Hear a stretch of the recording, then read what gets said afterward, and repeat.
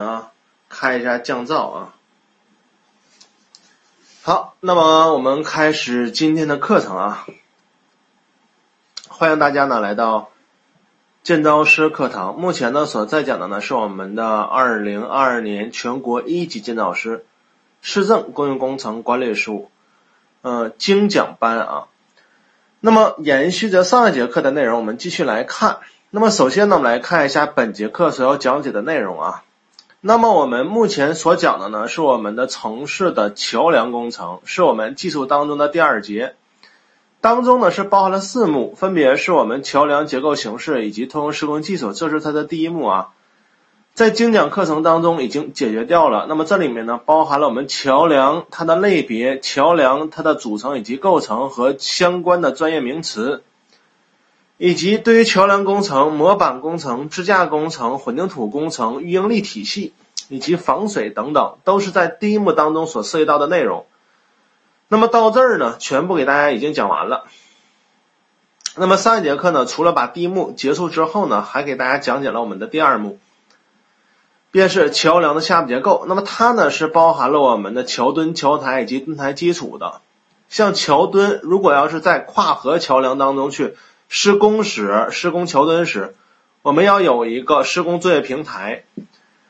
那么这种情况下呢，它需要通过围岩来提供我们施工作业平台。那么这里面的围岩呢，包含了土围岩、土袋围岩、木桩竹条土围岩啊、竹里土围岩，以及我们的这种钢钢套筒、钢套箱围岩、双臂钢围岩啊、混凝土板桩以及呃钢板桩围岩，这些呢都是啊已经讲解过的啊，简单回顾一下。那么除此之外呢，就是我们的桩基的施工方法以及设备选择了。那么上一节课呢，已经把我们的本个考点当中的第一个知识点已经给大家解决完了。那么我们本节课呢，要延续着我们这个考点，继续来展开啊来讲解。那除此之外呢，还会给大家来讲第三个考点，便是钻孔灌注桩施工过程当中啊有可能产生的一些事故以及相对应的一些解决的方案和措施。这个点呢，非常愿意考案例分析题。那么所以呢，要求本个考点大家呢一定要理解去记忆。那么除此之外呢，还会给大家来讲解，便是我们的桩基的施工的安全措施啊，这呢也是可以配合案例题来考的。好，首先呢，我们来看一下我们嗯第二个考点当中的第二个知识点啊，钻孔灌注桩啊它的施工基础。那么第一个知识点呢，已经在上一节课呢已经讲解过的啊。那么我们来看一下第二个知识点，钻孔灌注桩施工基础啊，钻孔灌注桩它的基础的施工啊。那么一般桩基施工之前呢，都要有相对应的一些啊准备工作。那么来看一下它的准备工作有哪些啊？大致了解即可，案例题考不到。施工之前呢，掌握水文地质资料啊，就地下水位的深度啊，以及土质的情况啊，这些你都要知道。那具备所有的各种原材料以及呢制品。啊，它的检测报告要有。那么像我们的物料来说，要有生产许可证了、产品说明书了，以及质量检测报告了，这些呢都要有啊。以及施工过程当中要有施工记录啊，例如我们的施工日志。那么还要有我们的啊安全生产以及环保等相对应的一些措施啊，了解即可。考到的可能性微乎其微，大致了解。其次呢，我们来说一下成孔的方法以及设备的选择。我们先来说成孔方式啊方法。这里面呢，主要呢是分四种，这里呢是可以考多选题的，分别是泥浆护壁成孔、干作业成孔、沉管成孔灌注桩以及爆破成孔啊。先来说一下泥浆护壁成孔，看这是泥浆护壁成孔。那么一般它呢需要配合着钢套筒啊、钢护筒来施工。那么这个钢护筒施工时是有讲究的。它呢，一般呢顶标高要高出地表零点三米，高出地下水位两米左右。目的呢，主要是保证孔壁土体的稳定，防止造成周围孔壁的坍塌。那在我们钢套筒当中，我们需要灌浆。这个浆液呢，无非呢就是我们的膨润土浆。那么它呢，首先有很好的容重，可以平衡两侧的水土压力啊，保证孔壁的稳定。其次呢，它有一定的粘度。可以在孔壁呢形成泥这个泥膜，从而呢保护孔壁啊，形成了一定的张力，防止孔壁它的失稳和坍塌。这呢是泥浆护壁层孔。再来说干作业成孔，什么是干作业成孔啊？就是没有泥浆，直接开挖，直接成孔，这呢便是干作业成孔。那么第三种呢，便是沉管层孔灌注桩。沉管层孔灌注桩，顾名思义啊，它呢需要先把钢管压入到我们的地层当中。那钢管它呢这个位置呢是有一个这个桩尖的。那么目的呢主要呢是挤压土体，使土体向周围呢来进行移动，从而呢提供我们桩的一个空间。当我们形成了桩的空间之后呢，我们是向内部呢来下放钢筋笼，然后呢去灌注混凝土。当混凝土流到桩底之后，我们整个呢把钢管呢给它抽出来，提拔出来，这种呢就称之为沉管沉孔灌注桩啊。那么最后一个爆破沉孔，一般城市当中是禁用的啊。那么主要呢是这种四种成孔方式，大致呢了解即可。也是啊，一般考呢会考的是多选题。接下来呢，我们来说一下这四种成孔方式，它对应可以使用的一些机械设备，以及每种机械设备它的土质的适用条件啊。首先，先来说一下泥浆护壁成孔。泥浆护壁成孔呢，它可以使用这么多的钻机啊，正循环钻、反循环钻、冲击钻以及旋挖钻和潜水钻。注意，冲抓钻它还可也可以用啊。冲抓钻既可以使用于泥浆护壁层孔，也可以使用于干作业层孔，都可以用。那么来看它的适用条件，对于正循环呢，可以看到它主要适用于粘性土、粉土、细土啊、中沙、粗沙等等，大部分土层都可以使用。而且注意，它还可以用于软岩。它要对比谁去记呢？对比的是反循环。你看反循环跟正循环，它的土质情况大致都是相同，差不太多的，只是差了一个谁啊？差了一个软岩啊。再来说冲击钻和旋挖钻，它俩呢，除了适用于粉土、沙土、天土、粘土等等，还可以用于风化岩。尤其是冲击钻啊，当我们钻机转不动的时候，尤其是采用旋挖钻转不动的时候啊，我们更多的愿意选用的是我们的冲击钻。强中风化岩一般它呢都可以使用啊。再来说一下干作业成孔，干作业成孔呢，像冲抓钻可以用，长螺旋钻机可以用，钻孔扩底可以用，人工挖孔桩可以用，这些呢都是属于干作业成孔啊，不带泥浆，没有护壁的效果，没有护壁的作用啊。那么这里面呢，我们主要是记后三个长螺旋、钻孔扩底以及人工挖孔桩，因为我们教材当中呢是针对这三种成孔方式呢详细解读的。大致来看一下它们的土质适用条件。注意，像这三种钻机呢，都是适用于地下水位以上啊，就是没有水的情况下可以使用。那像长螺旋钻呢，注意它还可以适用于强风化岩层当中，而对于钻孔扩底呢，它呢也可以适用于这种风化岩层当中啊。那么对于钻孔扩底和爆破层孔大致了解即可啊。这个表一般考呢就是考选择题。好，接下来呢，我们分别针对泥浆护壁壳层孔和干作业层孔详细来说，详细来解读。首先，我们先来说泥浆护壁层孔。对于泥浆护壁层孔呢，我们分别要看泥浆它的制备以及呢护筒的要求。那么刚才已经说了，泥浆护壁层孔首先它一定要护筒，护筒的目的呢主要是保质，保证周围土质稳定。防止开挖扰动，从而造成土体的坍塌。所以呢，对于我们的护筒主要是起到保护孔壁、防止坍塌的作用。那么这里面呢，我们分别来针对泥浆护筒以及我们收集泥浆的泥浆池分别来解读，分别来说。先来说泥浆，从材料的角度来说啊，泥浆它用的呢，一个呢是啊粘土，另外一个用的是膨润土。那么像粘土颗粒小，膨润土也是一样的啊。膨润土粘度大，然后呢颗粒小，这种情况下呢，首先呢它跟水去比，那么它的容重比较大。容重大的情况下，注意它的比重大，那么可以很好的平衡四周的水土压力。这是四周水土压力。假如你灌的是水，注意水的容重小，容易造成孔壁坍塌；而你灌的是泥浆，泥浆的容重大，它可以很好的平衡水土压力啊。那么其次，像我们膨润土和粘土颗粒细，呃，密度大，它可以在我们的孔壁呢形成泥膜，具有一定的张力，保证孔壁的稳定，防止土体的坍塌以及开裂。那么对我们的泥浆来说，要求密度呢小于一点一啊，含沙率呢不得超过百分之二，因为含沙率越多，后期隐患越大。后期一会儿会给大家来说啊，它的隐患。那么粘度最不宜大于二十。再来说一下护筒啊，那么对于护筒，一般都是钢制护筒，那么它的深度呢，主要是看我们的设计要求。那么护筒一般截长两米左右，导流渠。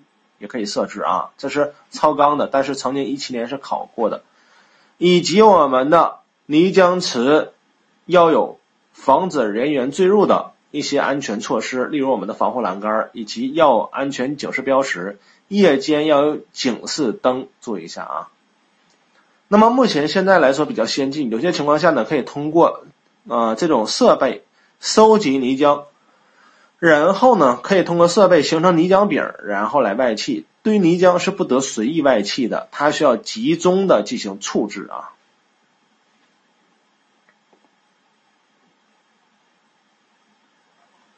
我看有人说卡了是吗？卡吗？现在卡吗？现在卡吗？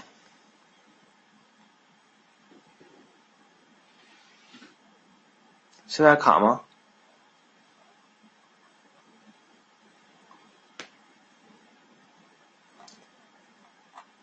现在卡不卡？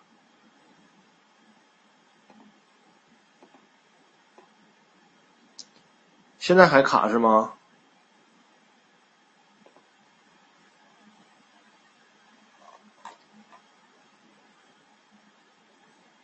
好了是吧？现在好了。我没有关闭啊，应该是刚才我们教务那边他夺到了我的权限，他把我的权限夺到他那边了，然后应该是他把那边的这个关闭了，所以大家发不了言啊。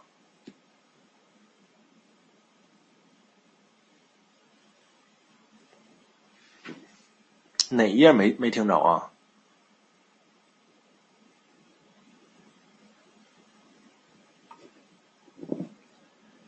嗯，说重说一下哪个位置没听到？护筒是吗？这一页呗，是这一页吗？啊，护筒啊，那我说一下啊，这页重说一下吧。这页呢，主要针对的是泥浆它的材料、护筒它的空间位置以及我们收集泥浆的设备啊，这三点来说。像泥浆，首先呢，先来说材料，一般使用的是高塑性、高塑性的粘土以及膨润土。为什么呀？颗粒细，比重大，它还可以很好的平衡两侧的水土压力，防止孔壁的坍塌。其二呢，它呢可以形成我们的泥膜，在泥在我们的孔壁呢形成泥膜之后呢，张力比较大，不容易开裂，不容易坍塌破坏。那么对于泥浆，它的密度呢小一点一，含沙率不得超过百分之二，以及粘度不得大于二十。那么这三个数字有印象就行，一般在选择题当中可以考，案例题考到数字的可能性不大。那么再来说护筒，护筒要掌握的是空间位置，一般护钢制护筒居多啊，截长两米啊，也有可能比它深一些啊，长一些。护筒的目的呢，注意主要是保证我们开口端土层的稳定，防止土层的呃开挖，就跟隧道一样。为什么我们开挖隧道的端面的时候它容易坍塌？而开挖隧道的内部啊，反而并不容易坍塌呀，就是它是自由端部，所以呢容易坍塌。这种情况下呢，我们要加一个钢制护筒。那么对于护筒呢，注意埋设的时候呢，它的位置是有要求的。那么要求我们护筒顶标高要高出地表三百毫米。那么有地下水位的时候呢，要求顶标高要距离我们的地下水位呢至少是两米左右啊，两米以上。那么以保证我们孔壁的稳定。其次呢，便是啊，因为有泥浆，那么它就会造成一定的污染。那么对于泥浆是有要求的，第一个要有泥浆池，这是泥浆池。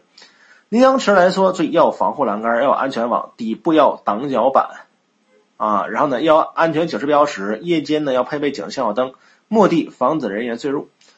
第二个就是防止泥浆呢这个造成一定的污染，所以呢要配备泥浆池。那么泥浆最必须呢集中收集，集中进行处理，不得。啊，随意这个排放。其次呢，就是对于泥浆，目前来说有这种设备，它可以收集泥浆，后期呢形成泥浆饼，那么啊减少了我们这种污染的情况。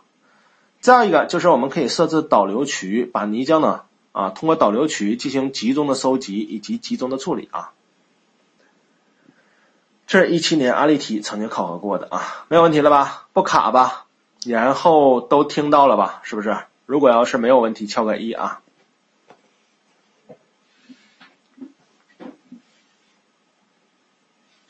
没有问题的话，敲个一啊。好的，OK。那接下来呢，我们继续看。接下来呢，我们来看一下正反循环转啊。正反循环转呢，注意包含了正循环以及反循环。来看啊，左侧这个我们称之为正循环，右侧这个呢，我们称之为反循环。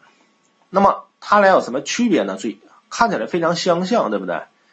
无论是正循环还是反循环，注意它都是由钻头、钻杆。泥浆泵、沉淀池以及泥浆收集池来构成的，这都是它们的相同点。不同点，注意，你记正循环呢，它呢是起到一个浮渣的作用，浮什么呀？浮钻渣呀，浮沉渣呀。而反循环呢是吸吸渣的作用。首先，我们先来说正循环。在我们钻头开钻的同时，我们需要布置我们的这个通过泥浆泵啊以及泥浆管向我们的孔道当中呢去啊这个注入泥浆。你钻进的同时，一定会有沉渣呀、土体的掉落呀。那么这种情况下呢，我们需要把它置换出来。怎么置换呢？通过我们泥浆泵向里面打泥浆，通过泥浆，然后呢使我们的浆液当中带着一定的沉渣，使其呢浮入到我们的沉淀池当中。通过沉淀池啊物理的效应，自然沉淀，把我们的沉渣呢沉淀到沉淀池当中之后呢，再使我们的泥浆呢最悬浮到我们的泥浆池当中。那么这个泥浆相对来说，它呢就是净化之后的了，因为啊一些钻渣、沉渣都是经过沉淀池沉淀之后的了，所以呢再浮到沉淀池就是净化之后的泥浆。之后呢，再通过泥浆泵反复循环置换，再泵入到我们孔道当中，这样把我们的钻渣啊给它浮到我们的沉沉淀池当中。而对于我们的反循环则不然，它呢是有一个吸浆管，那么在我们成孔的同时泵入泥浆，通过什么呀？这个管道进行抽泵啊，一个是可以加压的，再一个是可以吸的，对不对？然后你看，它左侧呢是我们的沉淀池，吸出来带有沉渣的浆液呢，进入到沉淀池，然后呢沉淀之后，再把净化之后的泥浆浮到我们的泥浆池，通过泥浆池再进入到我们孔道当中。所以呢，它俩的区别呢，正循环它主要是起到浮渣，而反循环呢是吸渣啊，这呢就是它的一个根本区别。了解到这个层位就可以了啊，不需要深究了。接下来呢，我们再来说一下我们施工过程当中的具体要求。那么成孔时呢，要根据泥浆的补给情况控制钻进的速度，了解即可。其次，我们成孔的时候，什么情况下我们需要停止钻进呢？来看一下，发生了斜孔啊倾斜的状态，对不对？这都是垂直的嘛？你发生了倾斜的状态，以及塌孔了，成孔时候土体坍塌塌孔了，你需要重新钻进的啊，或者这个孔就废了。那么这种情况下也需要停止这这个这个钻进，还有一个呢是护筒作为冒浆啊以及失稳的迹象，我们需要先停，采取相应措施之后再重新钻进啊。那么这呢是可以考个多选的。那么其次呢，我们再来说一下沉渣的厚度，看这是沉渣，对不对？正常情况下呢，我们钻孔之后呢需要清孔，清孔呢分一次清孔以及二次清孔，目的呢就是清除沉渣。那么这里面呢，有些情况下这个沉渣呢很难清，或者说啊避免不了会沉淀一定的沉渣。那么这里面呢也是有要求的，不同的桩它的沉渣的厚度是不一样的。呃，这里面呢是分两种桩，一种呢是端层桩，另外一种呢是摩擦桩。端层桩看啊，这个呢就是端层桩，三根桩已经打入到我们磁力层当中，一般情况下是进入到我们这个。磁力层当中，啊，一点五倍的这个桩径左右啊，那么可以看到，它是桩头已经基本进入到磁力层啊。通过我们磁力层以提供上部荷载的作用反力，而对于摩擦桩而言呢，它则不然，它呢是通过桩周跟土体的摩擦力啊，以提供上部的荷载自动发力。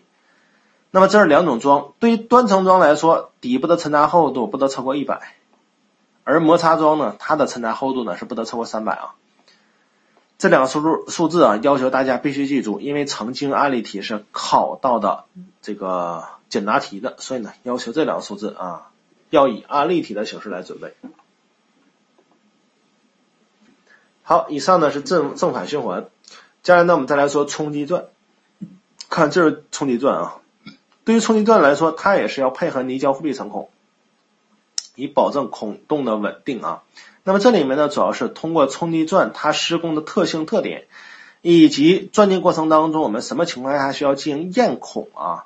再有一个呢，就是我们啊如何来保证孔壁的稳定？这几个角度分别来说。首先，先来说一下冲击钻它的特征特点，它呢主要是适用于什么呀？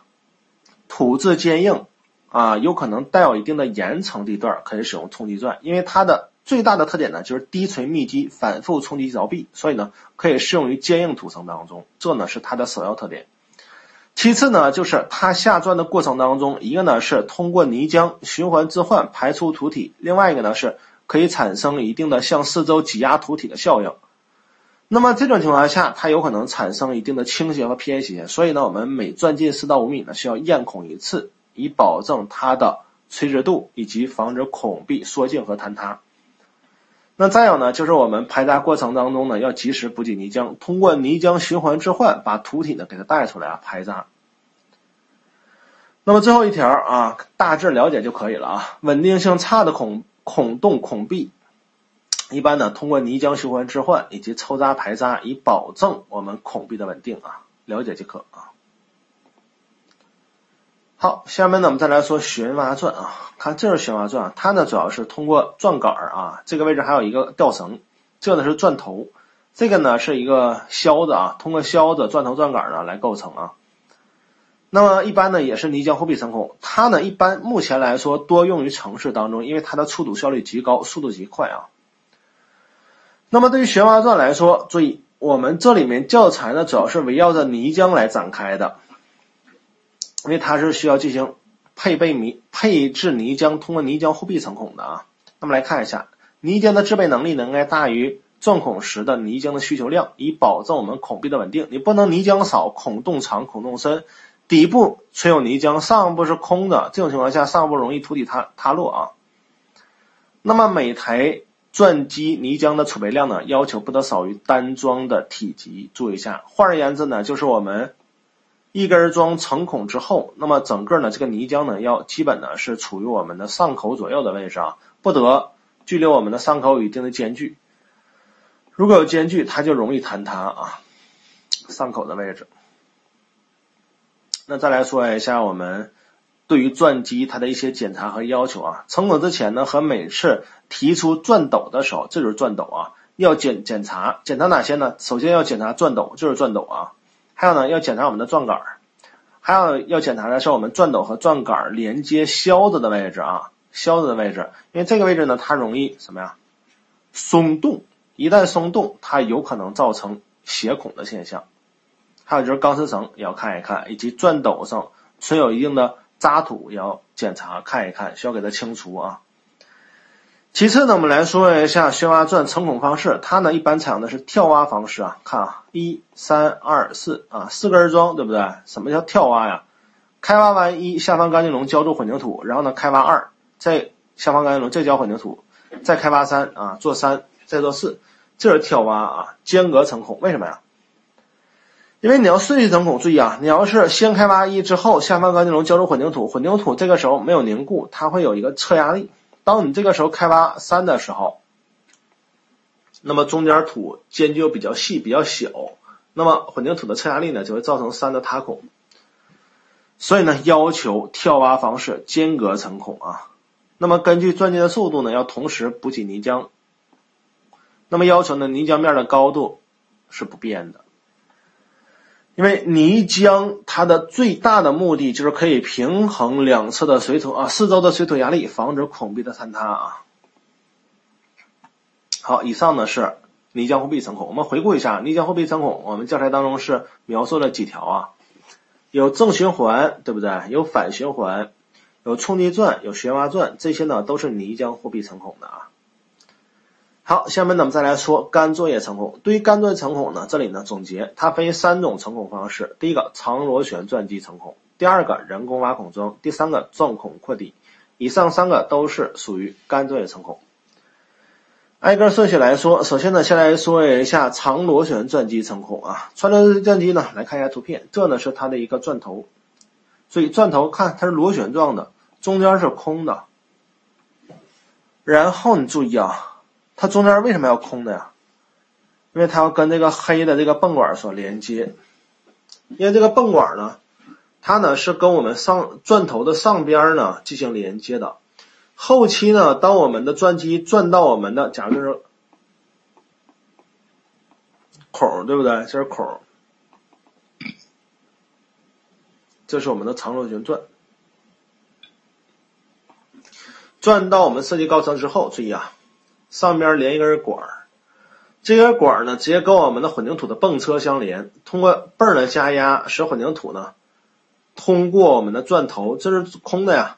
进入到我们的孔的底部，然后呢，我们是把啊长螺旋钻呢进行一个提升，提升的同时呢，混凝土呢直接就浇筑进来了。所以呢，它呢是先钻先成孔，之后呢直接泵入混凝土，提升钻头，使混凝土呢贴满整个孔洞，之后呢下放钢筋笼，这呢是它的特征特点。来看长螺旋钻机成孔时具体要求，首先呢是它的一个偏位。那么要求呢，桩的偏位偏差不得超过两公分。换而言之呢，就是它的设计轴线跟我们的实际的钻进的轴线呢偏差不得超过两公分。这里告诉大家一个记忆技巧：七十度偏差，我们整本教材呢你要记两个数，一个呢是两公分，另外一个呢是百分之零点五。把这两个数记住，应对垂直度的偏差啊，基本就可以啊，这个这个游游刃有余啊。那么其次呢，来说一下它施工过程当中的注意事项和要求。那么对于我们的干作业层孔，采用长螺旋钻机施工时，不宜反钻以及提升钻杆，因为你反钻以及提升钻杆会造成土体的扰动，从而呢容易造成塌孔啊。那么之后呢，就是它的一个特点了。特点刚才已经说了，它是先成孔，然后加压灌注混凝土，之后呢才下放钢筋笼，所以呢是混凝土。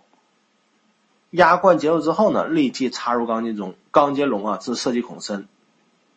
所以呢，它有别于其他的成孔方式以及桩的施工，它是先浇混凝土后插钢筋笼，而往往呢，大部分呢百分之九十以上都是先插钢筋笼后什么呀灌混凝土啊。来说钻孔扩底啊，看这是钻孔扩底的图片。先来看钻头，这是钻头啊。正常情况下，先下钻时都是这种方式去下钻的。当下到底部时，它来把两侧的翼缘给它打开，然后呢进行一个扩孔。看它的流程，看啊，首先呢钻头是下钻，都都是垂直的啊，钻头这两侧是不打开的。当下到底部的时候呢，把两侧呢给它延展开，那么这种情况下呢就可以扩孔了。之后呢是下钢筋笼，然后呢是下导管。那么我们说泥浆护壁层孔要下导管，对不对？灌注混凝土。那么为什么对于我们的干作业层孔也要下导管呢？注意啊。当我们的孔身过深时，你直接浇混凝土，让它自由下落时，当它的高度往往超过两米或两米多的时候，它容易造成混凝土的这个离析。所以呢，我们需要通过导管了、串这个这个串槽了啊、滑滑槽、串筒了等等啊，把混凝土呢给它顺到了底部，防止离析啊。然后呢是浇灌混压灌混凝土，浇灌混凝土啊。那么对于我们的钻孔扩底，它为什么要扩底呢？注意。相当于不倒翁一样，它不容易倾斜，不容易造成斜孔斜桩的现象，就是桩不容易倾斜啊。那么这里面呢，我们要记两个数，一个是五米，一个是一米五啊。灌注桩顶五米范围内混凝土时啊，注意这个位置啊。那么我们是随着灌注混凝土，随着呢拿震导棒呢来进行震导密实，以保证啊上面五米它的一个强度的要求啊，不蜂窝麻面。那么每次灌注高度要求不大于一米五啊，两个数我印象就行了啊。好，下面呢我们来说人工挖孔桩啊，人工挖孔桩。对于人工挖孔桩呢，我们看尺寸，看要求。首先我们来看一下图片啊，看这六张图啊。首先第一步是干嘛呢？需要放线测量啊，去确定它的平面位置。之后呢，我们要做一个井圈儿，对不对？井圈儿，颈圈的目的呢，注意跟我们的啊钢制护筒目的大同小异，都是保证孔壁的稳定啊，防止土体坍塌。之后呢，就进行土体开挖了啊。开挖时候呢，注意它是分层开挖的，开挖一节，然后呢做一节护壁混凝土。看，这是第一节的混凝，这是第一节土方的开挖。开挖完之后呢，下放钢筋笼，然后呢支模板。浇混凝土，第一节护壁混凝土就浇筑完成之后，然后呢，我们是开挖第二节，再下钢筋笼，再这个支模板，再浇，之后呢，就形成了这种结构啊。看啊，这是内齿形的。对于我们的人工挖孔桩啊，它分内齿形和外齿形，这是属于内齿形的，这不齿状的嘛，对不对？这是一节，这一节，这又是一节啊，一节一节去做的。好，接下来我们来看一下人工挖孔桩它的尺寸要求以及施工过程当中的要求啊。先看尺寸，对于人工挖孔桩来说，孔径呢一般呢是啊维持在八百毫米到啊两米五之间的啊八百到两千五百毫米之间的啊，不小于八百，不大于两米五啊。太小人下不去啊，太大了土容易坍塌呀，孔越大越容易塌啊。那么高度注意不宜超过二十五米啊。注意，不宜超过二十五。一旦超过十六米啊，不单单呢要编制专家施工方案，还需要进行专家论证啊。这几个数你要记住。再来看要求，这个要求注意，一七年的一建考题是考到了案例的补充题，所以呢要求这个点呢大家要去记啊。首先先来说一下这个护壁混凝土，这是护壁混凝土啊，它呢有塑混凝土的，有钢筋混凝土的啊，一般钢筋混凝土居多。其次呢，你开挖时它的轴线偏差不得超过两公分，看一下啊。井圈中心线与设计轴线偏差不得超过两公两公分啊。再有一个呢，你是做一节护壁混凝土，开挖一层土再做一节，对不对？那么上下一节混凝土要有一定搭接吧？这个搭接的高度不得小于五公分。那其次，每一节护壁混凝土都要求当日浇筑，当日正早密实啊，不得啊一天施工半截，第二天又施工另外半截。一如果你要施工半截，注意它会形成缝隙，会形成施工缝啊。所以呢，要求怎么样？每节都是当日完成。那其次呢，你有混凝土，对不对？你必然会有模板的，都是绑钢筋、支模、浇混凝土的呀，就是模板，对吧？那么模板什么时候拆呢？两个要求啊，第一个是时间的要求，第二是强度的要求。我们是浇完混凝土之后，要求隔二十四小时之后啊，你可以拆。再一个呢，就是当混凝土强度大于五兆帕时，你方可拆啊。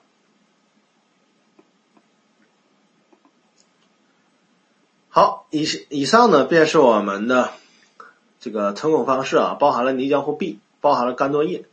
泥浆护壁成孔呢，大致呢是正循环、反循环、旋挖钻以及冲击钻，而对干钻成孔呢，主要是人工挖孔、钻孔扩底以及长螺旋钻啊。接下来呢，我们来看一下钢筋笼以及浇筑混凝土时的施工要点。成孔完之后就需要下放钢筋笼，对不对？下放完钢筋笼呢，就需要灌入混凝土。那先来看一下钢筋笼。对于钢筋笼，它的制作、运输和吊装要求防止变形啊？怎么防止啊？加支撑啊，打三角撑啊，或者是说打十字撑啊，都可以啊，保证它的刚度啊，防止变形。其次呢，吊方入孔时不得触碰碰，不得触碰孔壁。凸体本身就薄弱啊，你下方钢筋笼时，那个钢筋笼还触碰孔壁，就会造成孔壁凸体的坍塌啊。怎么去解决的呢？看啊。采用滑轮式的垫块啊，把滑动摩擦改为滚动摩擦，降低摩擦力，或者是在我们的钢筋笼不同的层高设置耳筋的啊，设置耳筋，触碰时也是减少摩擦啊。接下来看以下数字的要求啊，来看第三条，这个第三条呢对应的是这张图片啊，这么去对比去看啊，看一下层管层孔桩。那么钢筋笼的内径呢，应该比套管的内径小六到八公分。看啊，这是套管啊，钢的套管，这儿呢是钢筋笼。钢筋笼的内部呢是我们的导管，通过导管灌注水水下混凝土嘛。那要求这个护筒啊，钢管跟我们的钢筋笼它的间距是多少啊？总共是六到八公分，一侧就是三到四公分，对不对？那么其次呢是下方的导管。那么要求导管跟我们钢筋笼它的间距是啊一百毫米以上，那么两侧加一起是一百毫米以上，一侧是不是就是啊五十毫米以上？五公分以上啊，讲的是这儿啊，大家要了解一下。接下来呢，我们再来说另外两个数字。我们下放完钢筋笼之后呢，就需要灌注混凝土了。混凝土呢，一般现在用的都是商混啊，没有现场去拌的。那么对于商品混凝土当中的骨料，要求粒径不超过四公分啊，你骨料粒径太大，容易造成卡住离析的现象啊。再一个呢，为了防止我们孔壁的坍塌，我们要求呢下放钢筋笼完之后啊，这个就需要浇筑混凝土。那么它俩的时间间隔呢，一般不得超过四小时啊。往往呢都是下放完钢筋笼啊，立即去浇筑混凝土啊。好，接下来我们再来说一下对我们的桩的一些要求啊。正常情况下呢，我们是下放完钢筋笼，然后呢浇灌混凝土。那你浇灌混凝土的时候呢，注意啊，你不能直接浇到跟我们地表平齐，你需要超出一定的高度。那么我们超出多少呢？注意，一般超出啊半米到一米之间，零点五米到一米之间。它为什么要超灌呢？注意。因为你灌注混凝土的时候，它里面呢会有浮渣、沉渣，会回沉到我们混凝土的上表面或者说上半部分。那么这种情况下呢，会影响到我们混凝土的配合比，从而呢降低混凝土上部的强度。所以呢，我们需要超灌。超灌出这半米到一米呢，它的配合比是不严的，不符合设计的要求的。所以呢，后期呢需要通过剃桩头的形式给它剃掉，剩下的混凝土这个位置呢就符合了我们的设计的。设设计的配合比的要求，满足强度的要求，所以呢，我们要超灌啊，半米到一米，后期踢掉啊。好，接下来咱们再来说对于数字的要求啊。浇灌混凝土的时候，要求温度不得低于五度，因为你温度太低了，强度不增长啊。低于零度时，要求要采取保温措施；高于三十度时，要采取缓凝措施，因为温度高，湿水分失去的快啊，非常容易失散发水分。从而呢会加速凝固凝缩，所以呢要求要使用缓凝剂啊。最后一条，灌注桩实际的混凝土的灌注量不得小于计算体积。为什么？因为你设计的都是最理想的状态，你挖的时候它一定会造成一定的超挖，对不对？所以你灌的混凝土肯定是要比设计的要多。那么要求呢就是实际灌注量一定要大于或者说不小于设计的灌注量啊。没有问题吧？这连着说啊，这有没有问题？没有问题，先给我敲波一呗。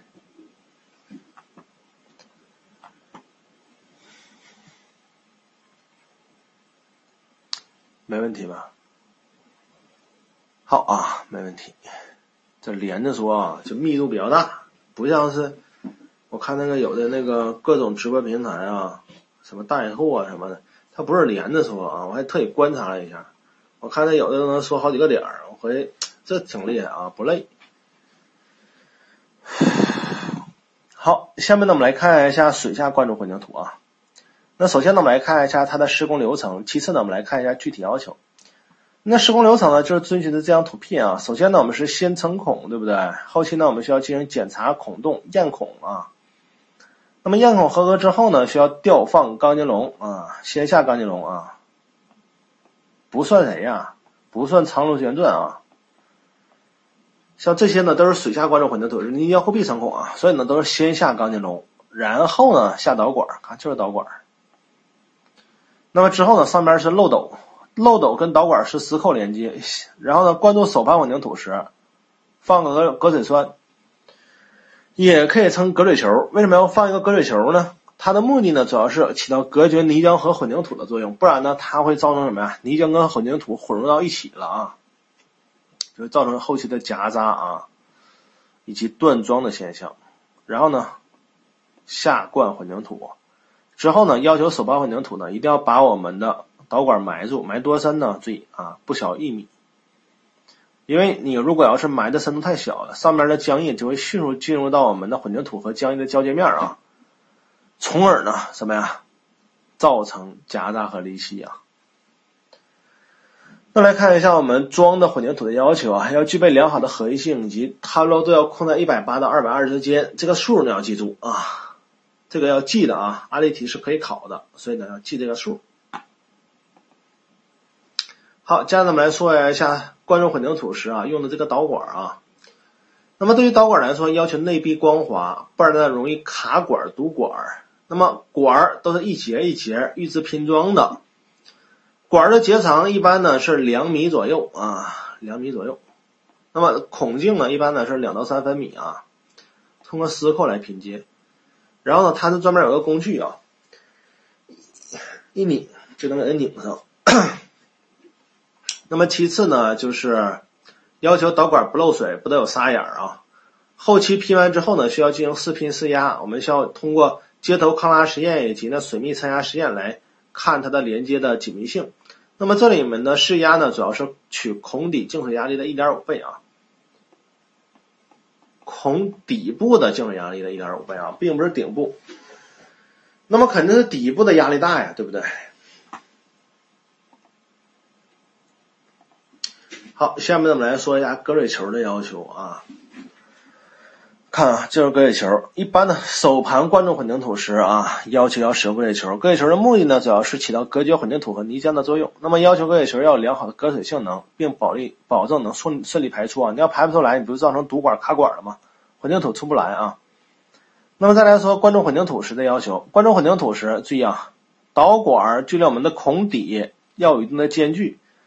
这个间距是多少呢？三百到五百毫米，不得太近也不得太远。太近注意堵管混凝土出不来；太远注意混凝土离析啊，就下落高度太大离析。所以呢是三百到五百毫米啊。那么当我们灌注手扒混凝土时，要求呢我们混凝土的灌注面距离我们导管它的底部要控制在一米以上，不得小于一米。因为你这个间距啊太小的情况下，混凝浆液呢会进入到我们混凝土的接缝的缝隙当中，从而会造成夹渣的现象。那么灌注过程当中要求呢，我们要控制导管的速度，因为你灌注过程当中混凝土会上升，你同时要拔管啊。那么你提升导管的时候，你要控制速度，你不得把什么呀导管拔出混凝土表面。如果你导管拔出混凝土上层表面，浆液就会进入到混凝土的缝隙当中，从而呢造成夹渣。就跟什么一样啊？就跟我们这个混凝土啊，假如你浇混凝土，底部浇，浇完之后，对不对？你要浇上部的。如果你控制不好这个位置，它有缝隙，浆液就会进入进来。那么这里也是一样的，你导管埋深过浅，浆液呢就会迅速进入到迅速啊进入到我们混凝土的上下交接的。缝隙当中，从而呢造成夹扎。所以呢，我们灌注过程当中控制拔管速度，提升导管速度啊。那么要使我们的导管的底部呢，距离混凝土的上层表面呢，控制在二到六米的一个区间范围啊。那最后一个呢，就是灌注混凝土过程当中啊，中途停顿不宜超过三十分钟。这呢是属于什么间歇时间？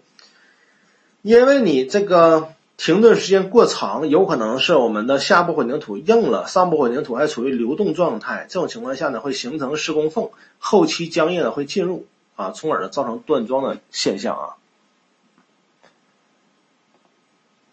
哎，怎么直接有答案了呢？请看吧啊，看一下，不应该呀。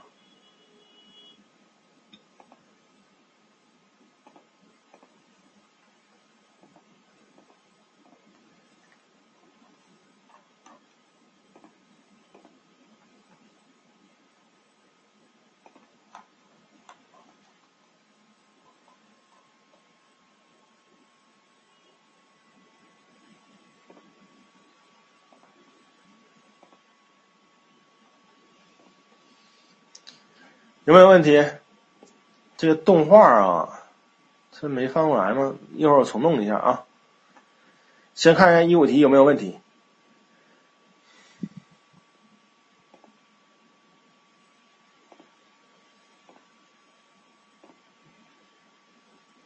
看一下一五题有没有问题啊？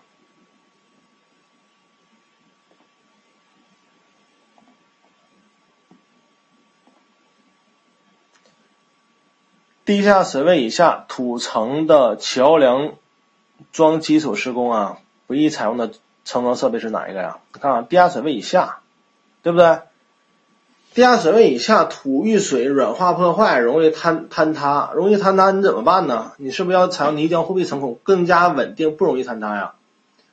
那像正经环式泥浆护壁，你可以采用；悬崖钻泥浆护壁可以采用；长螺旋钻干运作业层孔没法用。冲击钻泥浆护壁可以用，所以呢，谁没没啥用啊？C 吧，是不是？对头，因为他说了地下水位以下，这是一五年真题对吧？他不明的给你，他不会让你去啊，以下哪些是干作业层孔啊？以下哪些是这个泥浆护壁成孔啊？他不不这么去给啊，他都是绕个弯弯啊，绕个小弯儿。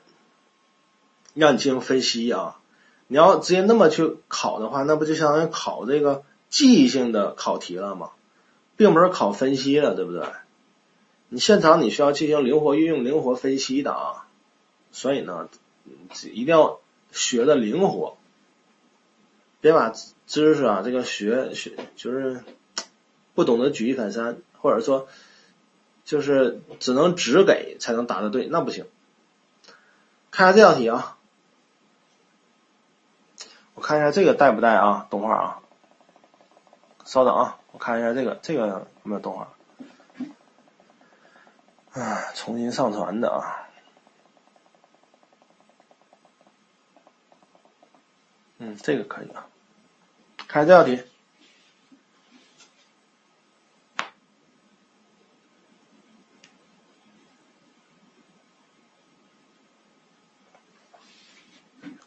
这上节课的内容对不对？因为上节课讲的第一个知识点，这节课讲的第二个知识点啊，这么去讲。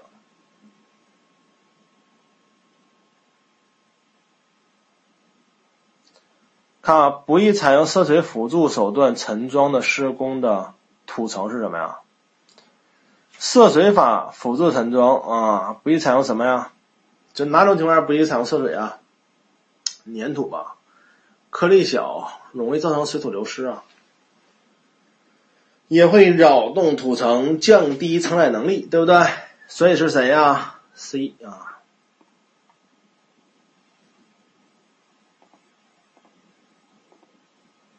好，以下呢是总结，回去大致看啊。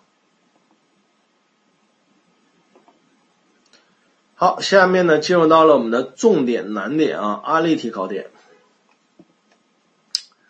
钻孔灌注桩施工质量事故预防措施，注意啊，本个考点尤为重要，案例题啊很愿意考，而且一考啊就是成批量成套的去考，所以要求大家要对以下知识点啊要掌握。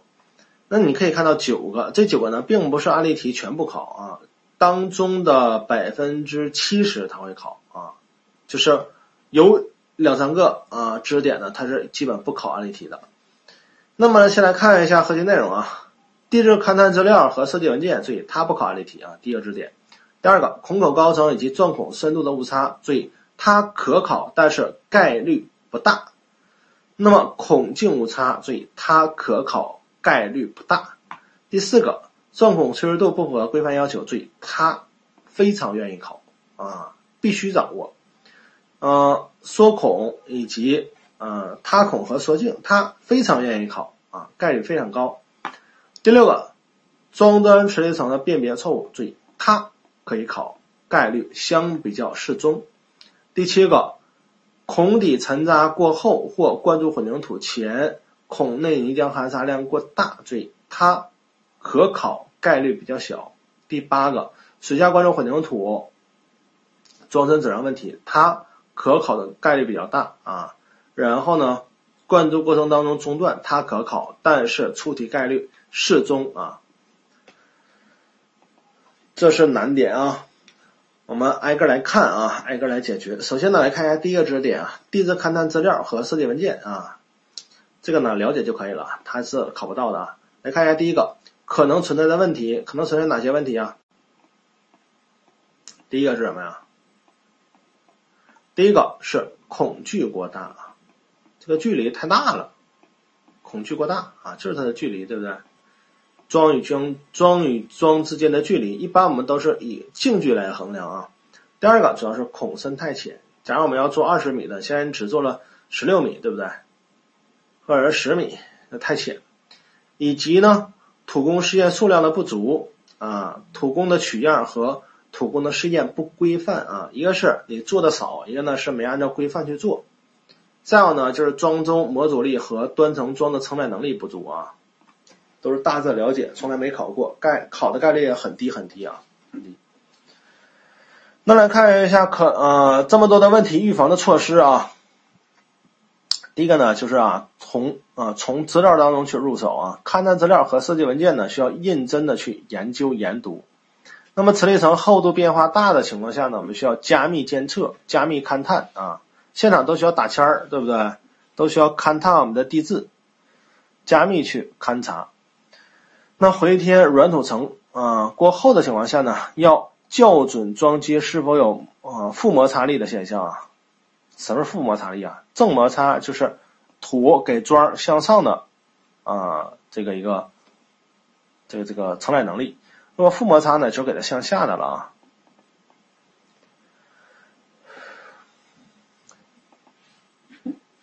来看第二个知识点啊，第二个知识点可考概率不不高啊。孔口高层误差以及钻孔深度的误差啊，两个点，一个呢是孔口高层的误差，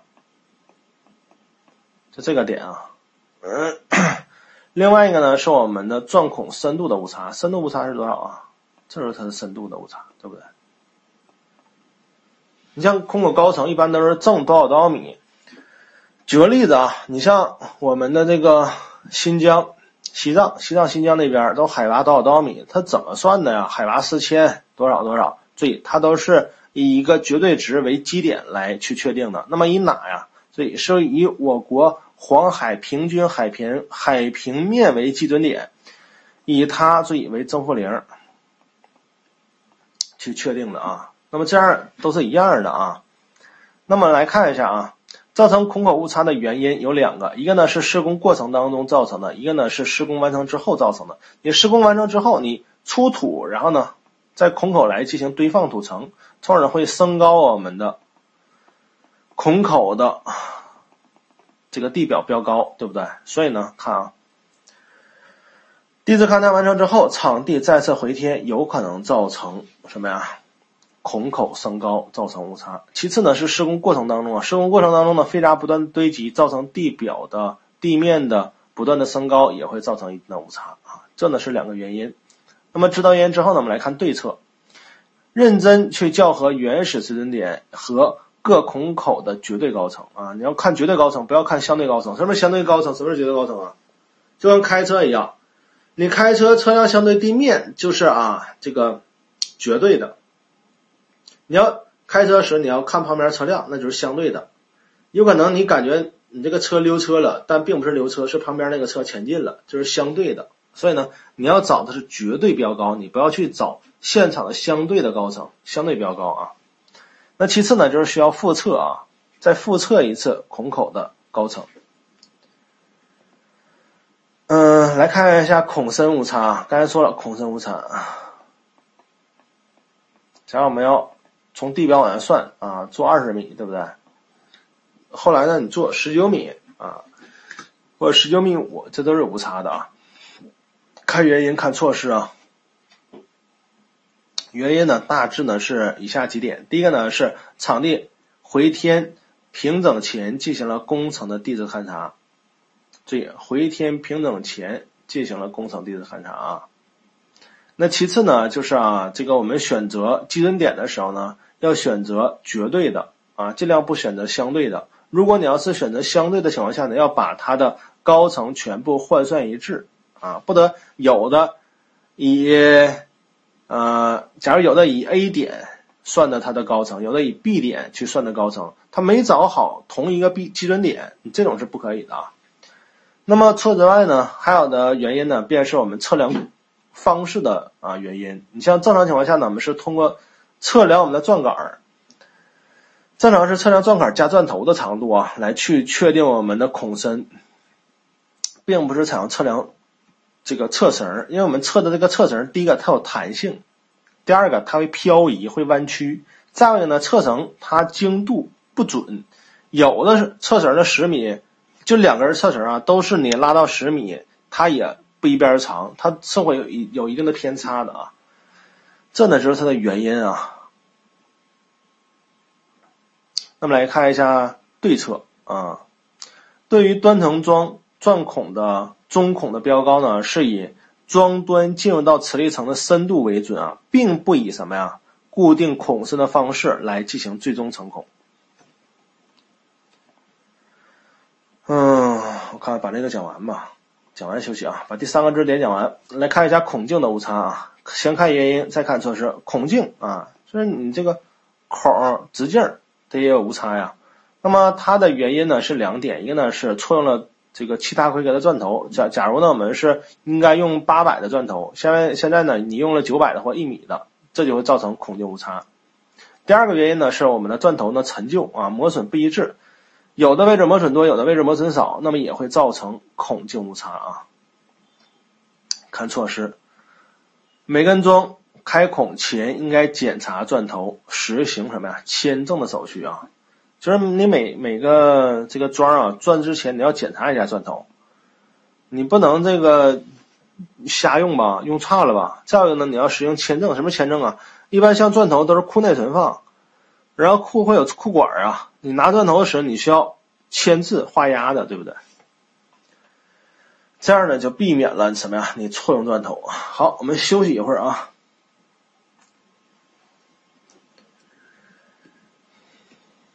好，回来了是吧？然后呢，我们继续啊。然后呢，我们来看一下第四个热点啊，就是成孔时候它的垂直度偏差啊，成孔时候。垂直度的偏差，正常情况下应该是垂直的，对不对？垂直于地表的。有些情况下呢，它会形成这种状态。当然了，不会像我画的这么大啊，它往往呢是越往深度啊偏差越大。那么垂直的偏差呢，我们来看原因，看具体的处理测试啊。原因呢主要是有以下几点，第一个呢主要是场地平整度差。你场地歪歪曲曲、歪歪扭扭，你下放啊摆放我们钻机时也会倾斜。第二个原因呢，就是下钻时钻杆弯曲啊，越往下走，这个弯弯曲呢越大，它会产生弹性形形变的。第三个呢，就是你钻头啊左右或者说四周磨损不一致，也会造成这个倾斜斜孔。最后一个呢，就是遇到了软硬交接面处啊。左边硬，右边软，你想它肯定是往哪偏呢？往软的一处偏，对不对？那这样呢，就是地层相对来说比较复杂的情况啊。那么分别来看啊，不同的原因对应的处理措施啊。先来说平整度差啊，场地平整度差，你把场地平整了、整平了、压实了就可以了。所以呢，压实场地、平整施工场地即可。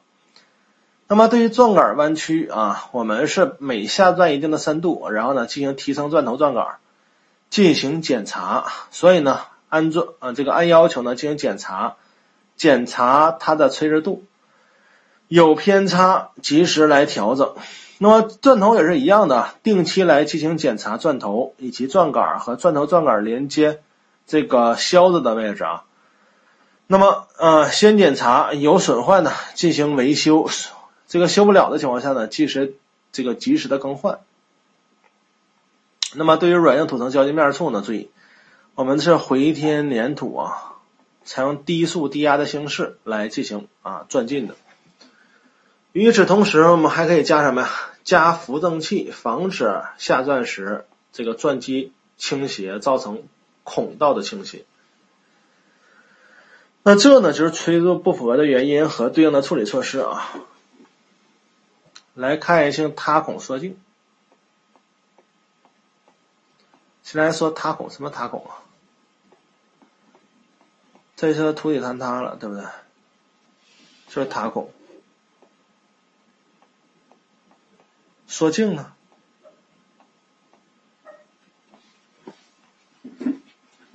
就是缩镜啊！本来直径一米二的，这个位置降为了七百或八百，就是缩镜。看原因，看措施啊。原因呢，大致三点：第一个，地质条件比较复杂；换而言之呢，就是土质条件不好，容易塌孔啊，坍塌。那么第二个呢，就是泥浆性能差，泥浆的性能差。注意，我们一般都是泥浆货币成孔。如果泥浆性能差，没有很好的容重，不能平衡水土压力，且不能形成泥膜，那么就容易塌孔。那第三个呢，就是钻进速度过快了，扰动大，扰动大容易造成塌孔的现象。而最后一个呢，就是我们成孔之后放置时间过长，没有灌注混凝土，土已经风化了，已经吹干了，没有粘度了，稳定性不好了，就容易塌孔啊。这呢是它的几个原因。来说措施，像你地质条件复杂、土质条件不好，你是没有办法来去处理的。像我们的泥浆性能比较差，你可以改良啊。泥浆不好换泥浆啊，可以看到换比较好的泥浆。那么可以使用密度一点三到一点四克每立方厘米的，以及粘度二十到三十的，以及含沙率不超过百分之六的泥浆啊。这个泥浆呢是膨润土浆啊。再来说第二个原因啊，钻进速度过快。放慢钻进速度，越慢扰动越小，要求每小时不超两米。第三个，你放这个成孔之后放置时间太长了，没有灌注混凝土。我们要求是成孔之后下放完钢筋笼，然后立即灌注混凝土。它俩时间间隔，技术部分要求是不超过四小时啊。所以呢，这呢是它的三个原因以及对应的相对应的处理具体的处理措施啊。好，下面呢再来说一下中端磁力层的辨别。这个主要针对谁呀？它主要针对的是端层桩啊，端层桩，底部是磁力层，对不对？那这里面呢，注意啊，分为啊，这个磁力层呢，它呢是分为了风这个非岩层类的以及岩层类的啊。你像岩非岩层类的，一般呢也是相对来说比较坚硬的土啊，土质条件啊。那么不同的土质条件，它的辨别的方式不一样。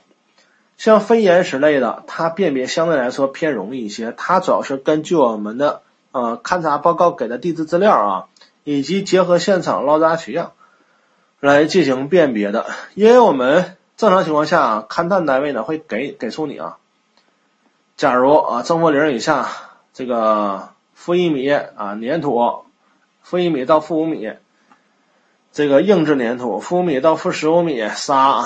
负十五米到负十八米是这个风化岩、强风化岩或中风化岩等等，它会给你地质条件。再一个呢，你会呃通过现场捞渣取样呢来进行结合，就是你现场钻进的同时呢，你需要不断的提升钻这个钻机，像悬挖钻是把钻斗提出来，对不对？然后呢，你需要把土呢空出来，你看一看这个捞的渣啊取的样儿。然后结合我们的地质资料来进行现场辨别，那么这呢是对于非岩石类的，而对于强风化岩以及中风化岩坚硬的地质条件的情况下呢，它的辨别难度相对来说偏大一点点啊。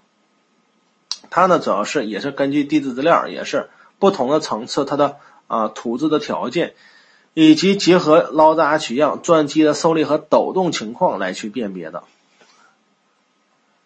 地质资料刚才说了啊，以及孔口捞渣取样也说了，就是你不断的进行出土，不断的进行捞渣取样，看土质情况嘛，跟资料去对比。那么像我们的受力和抖动什么意思呢？所以你钻机钻进的同时，它这个都是有仪表的，它会看到这个下钻时它的一个扭矩或者是它的一个受力情况。所以呢，你要是遇到强风岩和中化风化岩的时候呢，它呢是受力很大的。再一个呢，就是钻机它会抖动，会嘎吱嘎吱啊，就是我不知道现场做没这个这个我们的同这个同学啊，做没做过这个现场，或者说嗯这个这个成孔，因为现场啊这个钻机钻进钻进的时候呢，如果底部非常坚硬的时候，尤其是遇到风化岩啦或者是岩层的时候，它会晃动、会抖动、会产生响声啊。那么所以呢，它要结合受力和抖动情况啊。来看第八个啊，水下混凝土灌注和装深混凝土质量的问题啊。来看一下第一个部分，出灌时。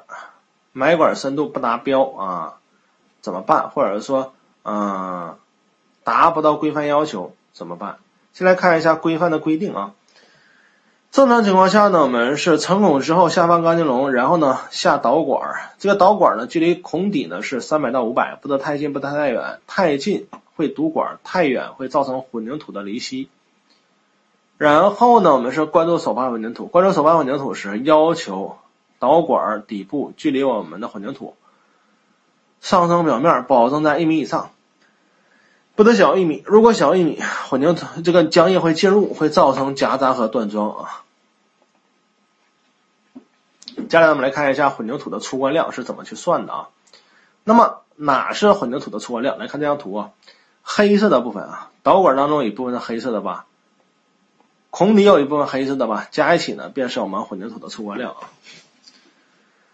那这个混凝土的粗灌量是怎么算的呢？你看啊，它是两个圆柱部分，一个呢是我们的桩的部分，另外一个呢是导管当中的混凝土，都是圆柱体。那么这里面的就好算了，像这第一个圆柱体，我们知道孔底啊桩它的直径，你就可以算出来，对不对？第二个圆柱体，我们只需要知道导管它的直径以及这个小 h 一就可以算出来，对吧？好，那么根据这个公式来看啊，对于我们混凝土粗灌量呢，它呢是导管内积存的混凝土量加上我们装场所需的混凝土量加一起便是我们的粗灌量。呃，它呢是通过这个公式呢来算出来的。看这个公式啊，这里面呢有好多的字母，我们分别看。首先这个 V 呢便是混凝土它的储罐量。就是两个圆柱体加一起的体积，而这个部分啊，H 一乘上派地方除上四，注意这个位置呢是我们导管当中混凝土的量。看啊，我们圆柱体怎么算呢？圆的面积乘高度吧，圆的面积是派 r 方，所以呢派地方除上四就是派 r 方啊。这个小 d 是谁呀？小 d 便是我们导管直径。然后这个 H 一呢，便是我们导管当中的混凝土啊，导管当中的混凝土。然后呢，再来说一下我们的圆这个砖底部的混凝土，它呢便是什么呀？派地方除四，对不对？乘上 H 一加 H 二，你派地方除四也是派 r 方。那么这个 D 是谁呢？注意，D 便是我们桩的直径。H 一加上 H 二啊，看 H 一刚才说了。导管底部距离孔底是多少？三百到五百毫米，我们取多少啊？四百毫米，一般就是取零点四啊。然后呢，这个 H 二是谁呀？我们是导管的埋深。刚才说要求不得小于一米，对不对？所以呢，我们就是按多少啊？按一米取啊，可以按一米取，你就可以算出来了啊。这儿呢，曾经二届是考核过的啊，考的计算题。好，下面呢，我们来说一下混凝土灌注过程当中啊。造成堵管的原因啊，造成堵管，就是你混凝土灌不出来了啊，就是堵管。那么堵管原因呢，主要是有以下六个，曾经呢一建多次考核啊。第一个是导管破漏破损，漏了对不对？那混凝土都都都跑到我们管外了，肯定卡住了啊，堵管。你要混凝土管漏了，那混凝土都从别的地方出来了，你这个混凝土都已经埋埋深很深了。这种情况下，你混凝土从底部肯定出不来了，所以呢，第一个是导管破漏，第二个呢，便是孔底距离深度太小。我们说导管底部距离孔底多少啊？三百到五百。如果你想一下啊，一个导管直接顶到了我们孔底，混凝土能出来吗？出不来的啊。所以呢，第二个原因是距离孔底深度太小。第三个就是混凝土准备时间啊，这个灌注的准备时间过长。注意啊，你准备的灌注时间过长，混凝土已经粗凝硬化结团成块了。你说混凝土还有流动性吗？它肯定没有了，所以呢出不来啊，造成堵管卡管。第四个，便是隔水酸不规范。我们粗灌混凝土时要使用隔水石、隔水酸。这个隔水酸注意棱角分明，而且直径偏大，它会造成堵管啊，混凝土出不来的。第五个，便是混凝土配置的质量比较差。我们说混凝土有什么呀？粗骨料、细骨料、水位压剂啊，以及水泥构成。当你粗骨料用的多，而且都是使用棱角分明的粒料，注意摩擦力比较大，容易造成堵管。最后一个呢，就是导管埋深过大，就这个小 H 啊，就是这个这个位置，它埋深过大，混凝土也是压不出来的啊。这呢是六个原因，注意案例题曾经多次考核，要求大家一定要记住啊。一般考愿意考补充题啊，简答题不一定，他一般是告诉你啊，我们堵管了，然后呢给了你这个其中的两条，然后呢让你进行补充啊，这么去考。接下来再来看其他的事故，看再再来看一下其他的病害啊，来看第三个，便是我们混凝土灌注过程当中呢，造成钢筋骨架上浮。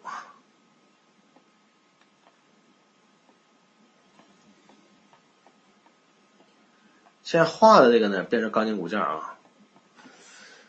肯定呢是先下钢筋骨架，然后呢灌注混凝土，对不对？那么为什么会造成钢筋骨架上浮呢？注意原因有三点。第一个是我们泥浆当中的悬浮沙粒、悬浮颗粒太多啊。那么悬浮颗粒太多的情况下呢，它就会回沉到哪儿啊？回沉到我们混凝土的表面，形成了一个密实的沙层。你灌注混凝土的时候，注意这个混凝土上升，它还拖着沙层一层一一起往上上升。那么这个沙层上面是怎样？是我们的钢筋笼，那么有沙层，钢筋笼呢就进入不了混凝土当中。那么这个沙层呢会拖着钢筋笼一起上浮，所以呢悬浮沙粒太多啊，形成沙层会拖着钢筋笼上浮，这是第一个原因啊。第二个原因呢就是混凝土初凝中凝时间太短，混凝土初凝时间中凝时间太短，注意上部的混凝土这个位置啊它已经硬化了，结团成块了。同样，你浇混凝土的时候，上部硬的，底部处于流动状态。那么，它上部的硬化的混凝土也会拖着钢筋笼呢一起往上走，一起往上上浮。如果你上部的混凝土如果要不硬化，那么处于流动状态时，钢筋笼会沉入到我们混凝土当中。所以呢，我们要求混凝土粗凝时间和中凝时间不得过长啊。第三个原因呢，就是你灌注速度太快了，你灌注速度快，混凝土上升速度远超过你钢筋笼钢筋笼啊融入到混凝土的下沉速度，整体也是往上浮的，对不对？来看第四个啊，装呃装成混凝土产生了离析啊，以及混凝土装身的强度比较低啊，它的原因啊，我们说混凝土强度低跟什么有关呢？绝对因素呢就是它的材料，混凝土是由什么呀？水、水泥、粗骨料、细骨料以及外加剂来构成的。那么注意，我们主要提供装身强度的是谁呢？是骨料。因为我们骨料是可以呃平衡一定的这个这个荷载的，它是提供强度的，而水泥只是胶凝材料，把骨料凝结成一个整体的。那如果你粗骨料用的很少的情况下，都是水泥浆，强度肯定低。所以呢，第一个原因呢就是配合比控制不严，粗骨料太少了。那么即使你配合比控制的很严，粗骨料用的也足够，但是呢你没有充分的搅拌，注意。粗骨料呢会回沉到我们的桩的底部，上边呢都是我们的水泥浆或细骨料，这种情况下呢也会降低啊上部的强度。所以呢，第二个原因呢就是你拌合时间不够，没有把它们混合均匀。第三个原因呢就是水泥质量比较差，因为我们的水泥呢是胶凝材料，没有水泥你骨料就是一盘散沙，所以呢有水泥，而且水泥的胶凝性比较强，才能把所有的骨料呢形成整体啊。那么这呢，变成三个原因啊，案例题可考。好，继续看啊，接下来我们来看一下啊第五个和第六个病害啊事故，桩身混凝土夹杂以及断桩的现象啊。什么是夹杂？什么是断桩啊？这是一根桩，搁中间折了就是断桩。什么是夹杂呀？本来我们这根桩当中都是混凝土，你这个参半进去了我们的这个沉积沙或者悬浮沙粒，这就是夹杂啊。那么来看原因，来看措施啊。原因呢有四点。第一个呢就是什么呀？你灌注手排混凝土时，出锅量不够。正常情况下，我们是要求导管底部距离混凝土上层表面呢保证在一米以上，对不对？你如果这个间距太小的情况下，浆液就会进入到我们的接缝的位置，就会造成夹渣。夹渣越积的越积累越多的情况下呢，就会造成断桩啊。第二个原因呢，就是你啊这个灌注混凝土过程当中。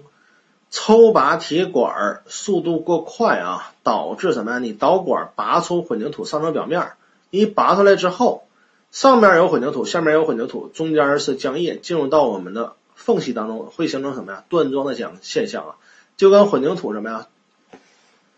你下面混凝土已经硬化了，上面混凝土再浇的时候，中间有缝隙，缝隙进入到了啊，这个缝隙呢进入了水泥浆，进入到我们这个混凝土浆。那么它会形成分层啊，就会造成夹渣以及断桩的现象。所以呢，我们要控制拔管的速度，不得拔什么呀？导管拔出混凝土面。其次呢，我们这里要求的是我们的灌注过程当中，导管底部距离混凝土上层表面呢维持在二到六米的一个范围啊，以这个范围去确定我们拔管的速度。第三个原因，注意啊。就是由于我们混凝土出凝和中凝时间太短了，当你混凝土假如上升到这个位置啊，你上边出凝中凝时间短的情况下，它会阶段成块硬化，你下部还处于流动状态啊，那么是不是中间接缝的位置会形成施工缝啊？对吧？你上面已经硬了呀，下面还处于流动状态，中间不就施工缝吗？那么这种情况下，我们的浆液是无孔不入的，它进入到这个缝隙当中，从而呢会造成断桩啊。那第四个原因呢，就是由于我们啊这个浆液当中，我指的是混凝土浆液当中的悬浮沙粒过多。那么悬浮沙粒过多，注意它呢会回沉到哪儿呢？回沉到我们混凝土的表面儿。当我们后期灌注时加快灌注速度的时候，那么有可能呢，这个混凝土。会冲破我们砂层表面，从而呢造成四周夹杂的啊这个悬浮沙粒的现象啊，所以呢这个呢就是啊悬浮沙粒过多，有可能造成夹杂的现象啊，这呢是它的四个原因啊，理解去记啊，你死硬背肯定是记不住的啊。再来看一下第六个啊，就是装顶混凝土，它呢强度不够，或者说密实度不够。啊，它的原因以及具体的处理措施。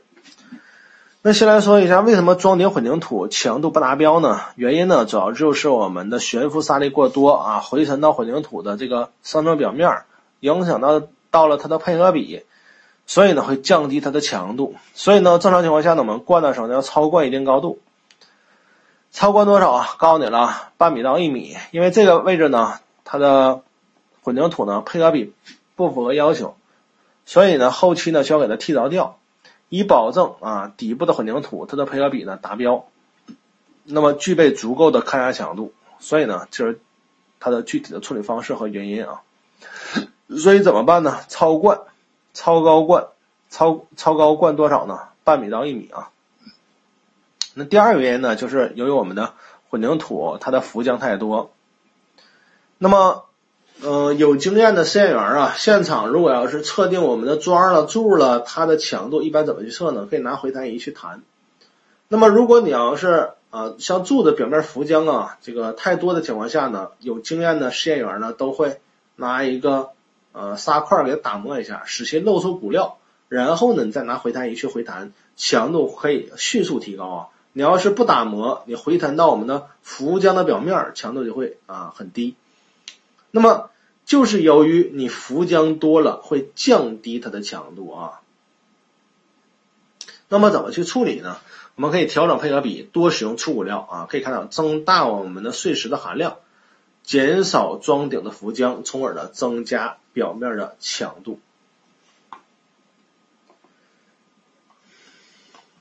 好，接下来我们来看一下第九点啊，混凝土灌注过程当中中断啊，一旦中断了怎么办呢？它分为两种。形式啊，呃，它分为了刚开始灌不久还是灌注过程当中了啊。如果你要是刚开灌不久，中途中断怎么办？注意，所有全部重做啊，所有全部重新来。拔起导管，提起钢筋笼，然后呢重新成孔，重新钻孔，重新下半干净龙，重新灌注混凝土，所有的呢重全部重新来。如果你要是灌注过程当中啊，假如你已经做了一半了，这种情况下怎么办呢？注意，这种情况下有一个前置要求和条件，就是我们已经灌了一多半或一半的混凝土呢，要求它必须是没完全凝固，在它出凝之前，注意。我们要把导管以及漏斗都给它提出来，然后呢，重新把漏斗和导管呢进行清洗，然后按照出关的方式下一个隔水球，重新灌注混凝土。当隔水球马上从底部出来的时候，马上啊一出来，立即把这个导管呢插入为这个凝固的混凝土当中啊，就是必须这个底部混凝土啊没有结断成块，没有这个出凝。在出凝之前插入到我们底部混凝土当中继续灌注，那么这呢就是分这两种方式去处理啊。再来说一下，假如我们灌注混凝土当中啊，灌注混凝土过程当中一旦啊卡管了，混凝土出不来，怎么去操作呀？有没有知道的？灌混凝土的时候，一旦堵管了、卡管了，混凝土出不来怎么办？有没有知道的？公屏回答一下啊！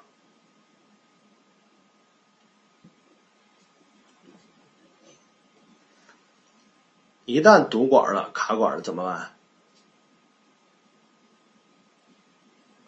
灌的过程过程当中，没人回答那咋？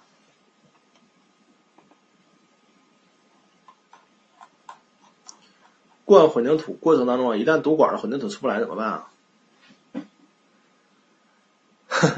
不会，对啊，震动，你看啊，有人懂啊。正常情况下呢，我们是先抖动、摇晃啊，摇晃吊层，抖动，实在不行就震动啊，放一个副轴式震导器啊，给它震出来。来看一八年考题，兄弟们啊。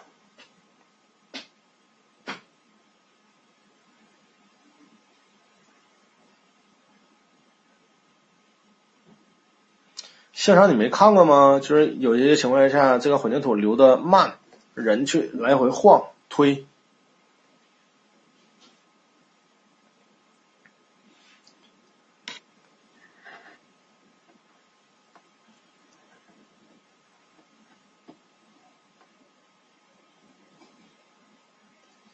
是啥呀？钻孔灌注桩磁力层为中锋外延，应该采用什么判定界面啊？判定岩层界面啊，钻头重量有吗？没有啊。地质资料肯定要有啊。钻头大小没有啊。钻杆的抖动情况，这个肯定有。现场捞拉圈，这肯定有啊。所以能选什么呀？BDE 吧，BDE 啊，BDE。看一零年考题选什么？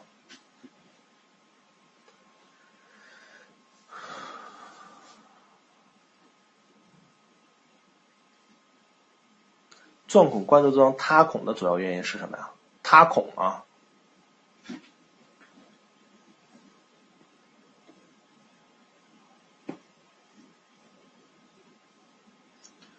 塌孔的主要原因是什么？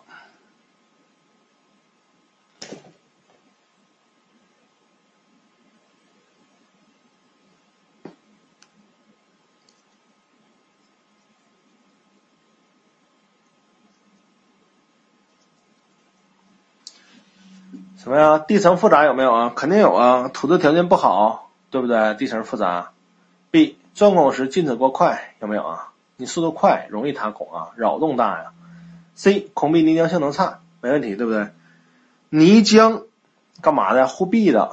你容重小啊，然后呢粘度差，肯定会什么呀？塌孔，对不对？然后呢，成孔后没有及时灌注，有啊，应该是成孔之后立即灌啊，不然呢，你这个一风化，土都干了，容易塌孔。孔体抻塌过后跟它没关系啊，A、B、C、D 对吧？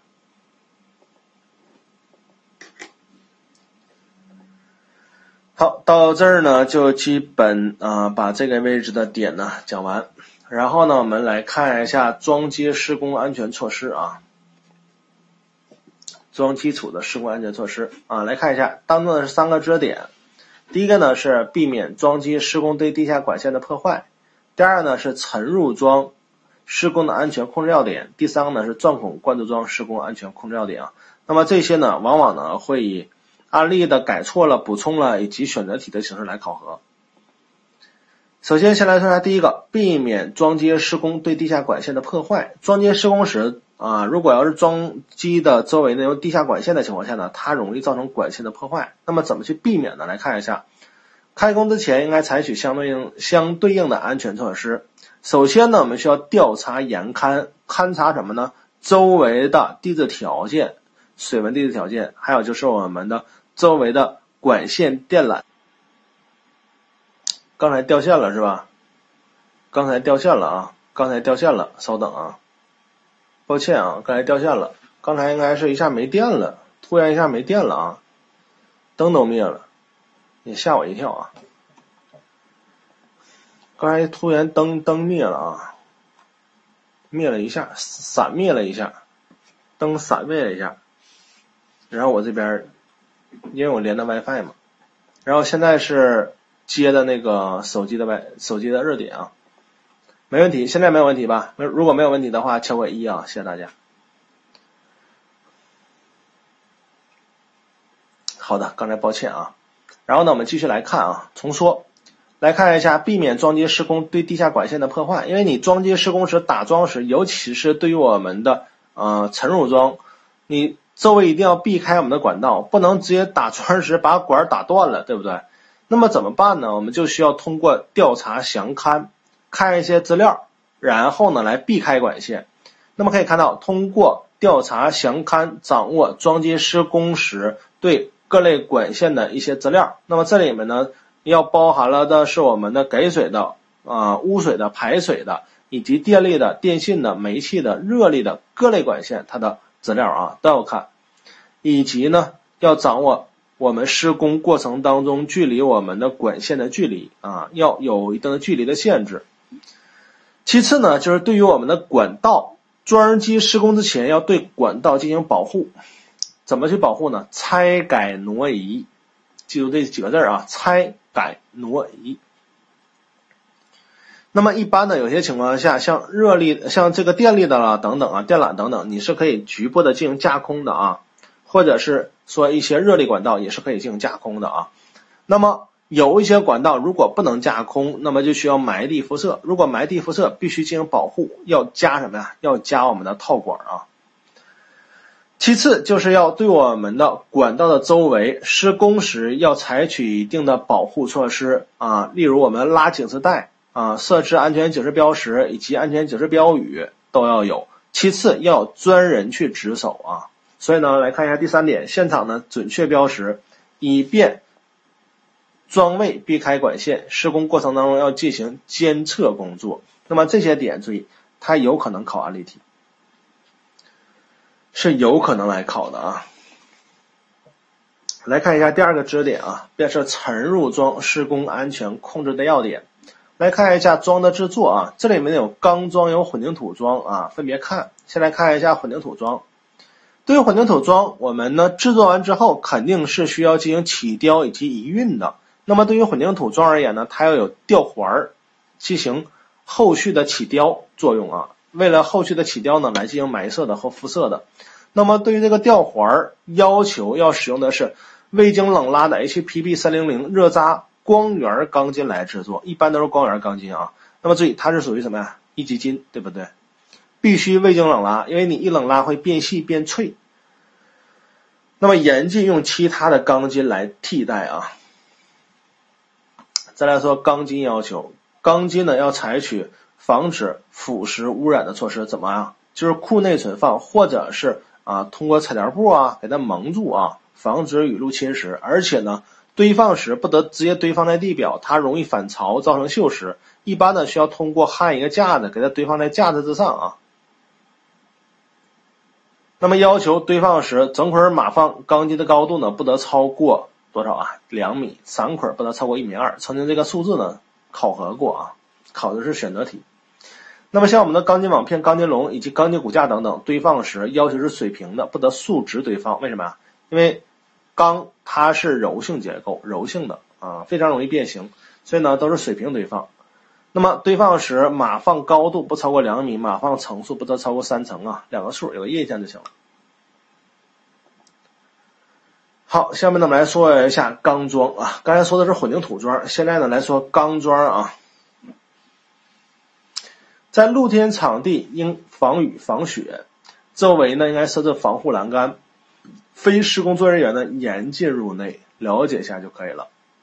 其次呢来说一下钢桩它的切割以及焊接啊，呃切割焊接呢都必须按照消防部门的规定配备消防器材，看一下啊现场都要有啊。那么我们的焊接以及切割时呢，十米范围内呢是不得堆放易燃易爆的物品的，有可能造成安全隐患。其次，操作者就是我们的焊工，对不对？那么他是属于什么呀？特种设备、特种作业人员，那么要持证上岗。那么一般情况下呢，都是需要进行培训、考核，考核合格之后方可持证上岗啊。第四条很重要，案例题可考。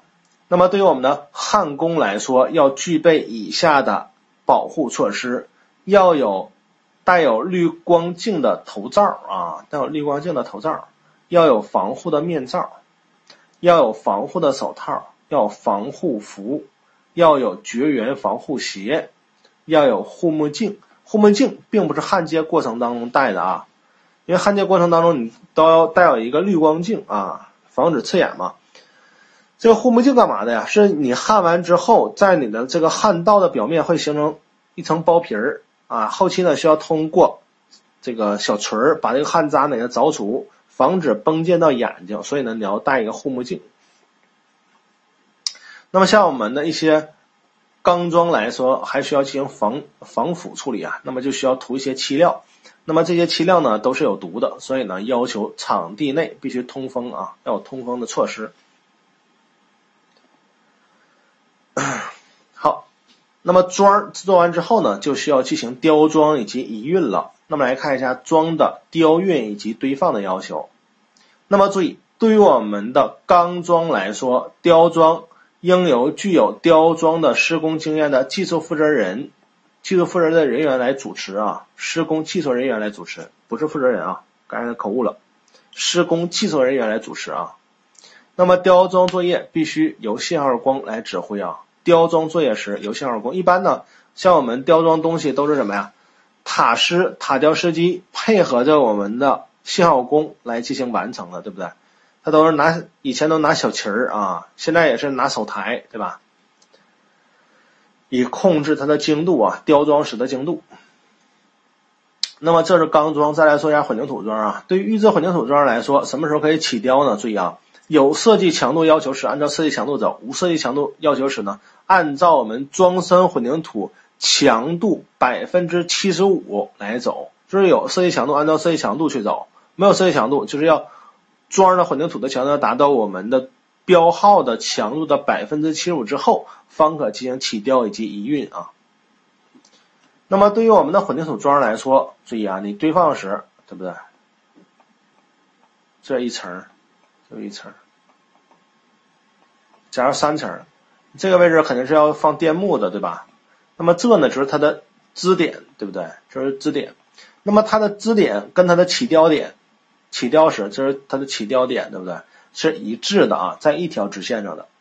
而且我们堆放时，注意它要上下对齐，垫木也是一样，垫木也是上下对齐。它要有一定的空间，方便我们是穿钢丝绳以及插车插进去啊。再来说一下堆放层数的要求。那么对于我们的混凝土桩堆放的层数呢，不得超过四层；钢桩的堆放层数呢是不得超过三层的啊。要求防变形、防滚动啊。这是混凝土桩。嗯。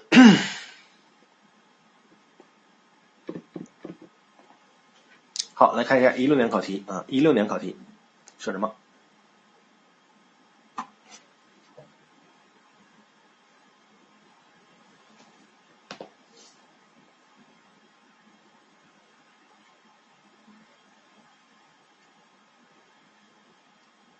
那不是竖平码放啊，是水平啊，水平码放。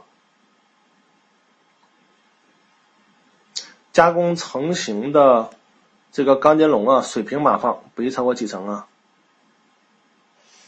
三层两米，这么去记啊？一六年考题啊，一六年考题，三层两米啊。好，下面呢我们来看一下第三个热点啊，便是钻孔灌注桩施工安全。呃，控制措施的要点啊，钻孔灌注桩它的一个安全控制要点。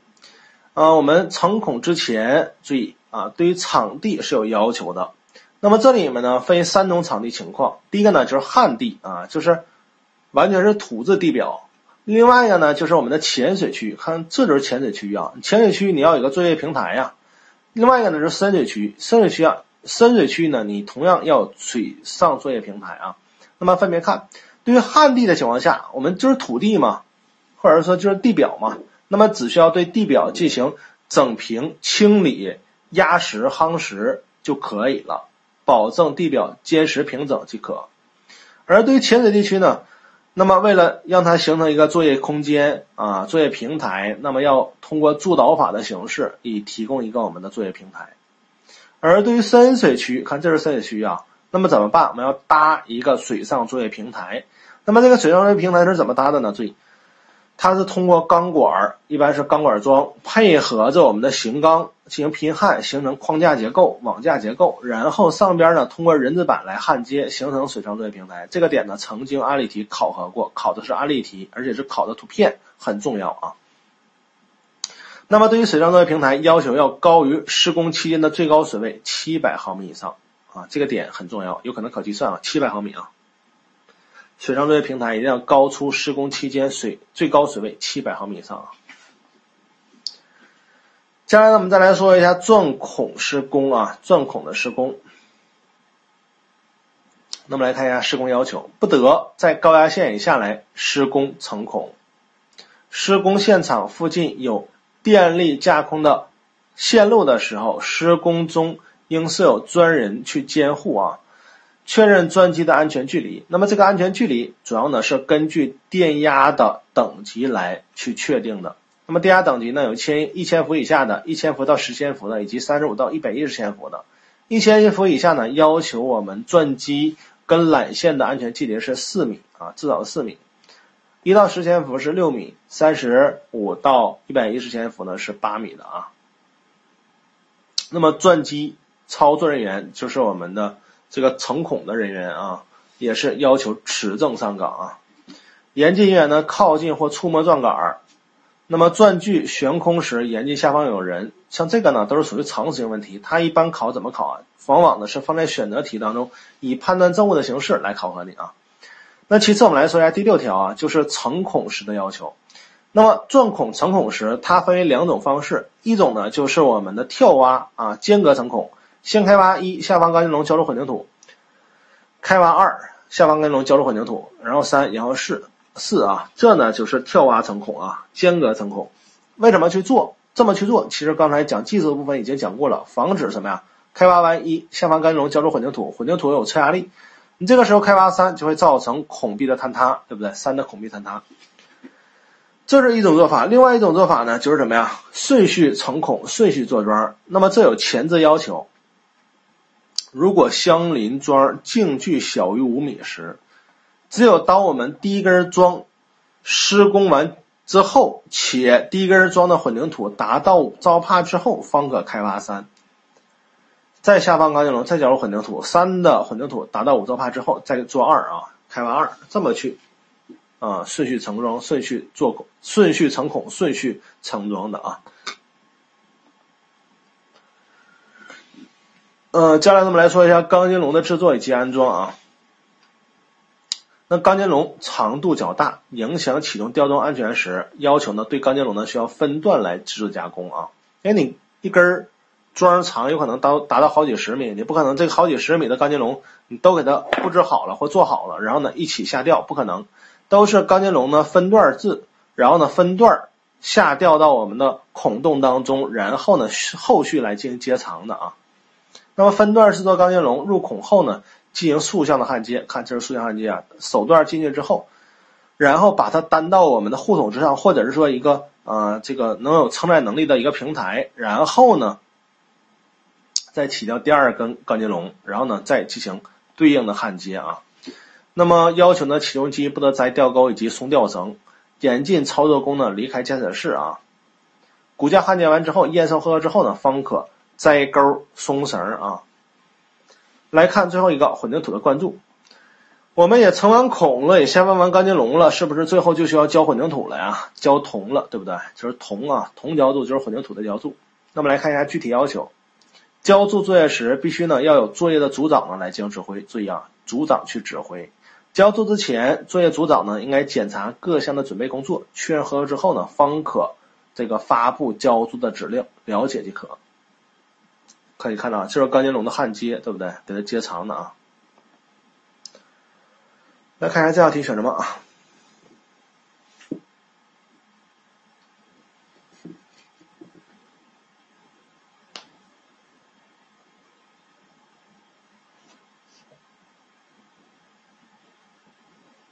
什么时候摘钩松绳啊？都是有要求的啊。这是安全的位置啊，质量和安全基本每年都会考核到啊，但是它考的点比较散啊。混凝土桩支点应与吊点在一条直线上，堆放时应上下对准啊，堆放层数必须超过几层。钢桩堆放支点应布置合理，防止变形，并采取防滚动措施。堆放层数不得超过几层啊？我们说混凝土桩不得超过几层啊？四层。钢桩不得超过几层啊？三层，对不对？选谁呀？B 吧。来看这道题选什么？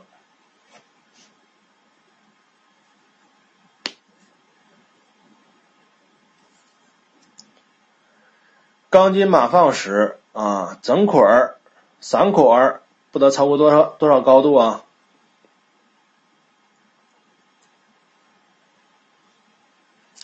整捆码放不得超过几米，散捆码放不得超过多少？整捆不得超过两米，散捆不得超过一米二。刚才说了对不对？也有图片去展示对不对？所以整捆是两米吧，散捆是一米二，所以选谁呀？选 C 选项啊。好，那么这呢便是我们本节的小结啊。好，到这儿呢，我们今天的课程呢就全部讲完啊，还有三分钟啊。大家有没有什么问题？可以简单进行一个答疑啊？有没有问题？有没有什么问题？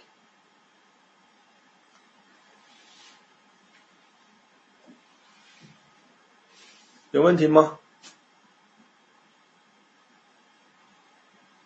不非得是关于什么呢？关于我们课程内容的啊？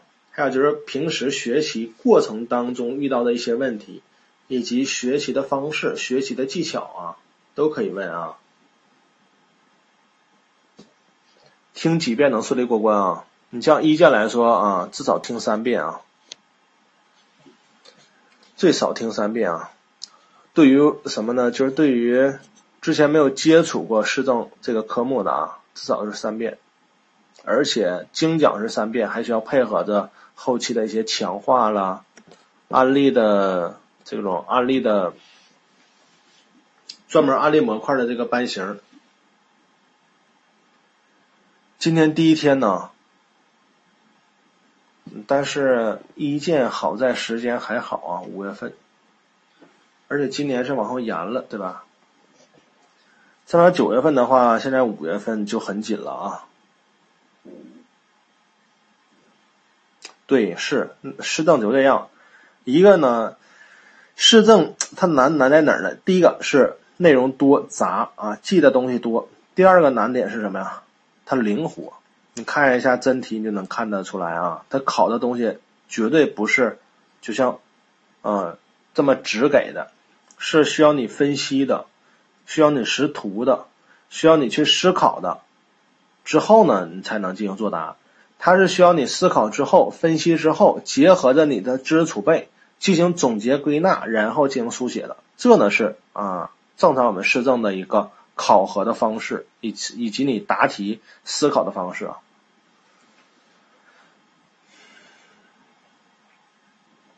有点跟不上，跟不上的情况下呢，就是你要看一下回放啊，看一下回放啊。回放的话呢，你可以减减慢一点速度。啊，这第四遍了是吗？正常的啊，也是正常的。对呀，今年不是延期了吗？一七年到去年真题。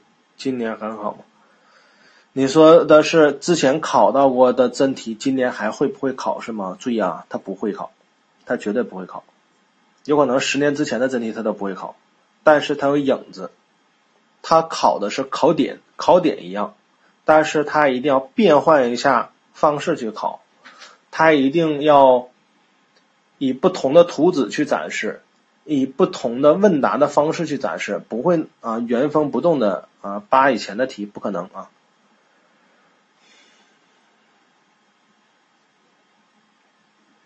注意啊，嗯，听课的目的是理解。那么在第三遍之后呢，注意，你听的过程当中就不单单要理解了，你要去记了，因为我们这个是 B 卷考试，且。它是什么呀？就是应试的考试，所以呢，你要把东西能记住，你记不住，你光能理解，都能看得懂，但是你书写不出来也不行。所以呢，我们市政来说，就是你要先懂，因为你不懂，你题你看不明白，你不知道他问的是啥，讲的是啥，就是你啥东西啊，你不知道。其次，你要背，因为它是闭卷考试，他不让你翻书啊。其实你让你翻书，你想就那几个小时，你能翻得过来吗？你也翻不过来。所以呢，你要把它记住。那么记的话呢，它有一个方式。嗯，因为我也是这么多年，一个是培训，第二个就是我看我考应该是十年前了。